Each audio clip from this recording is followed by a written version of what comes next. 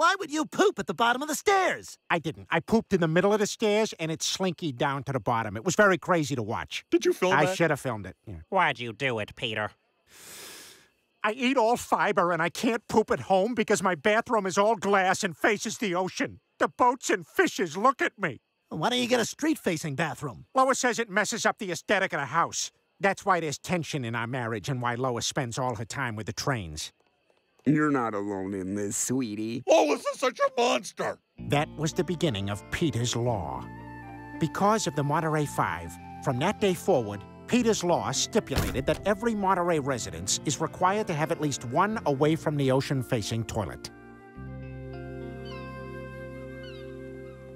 This is better.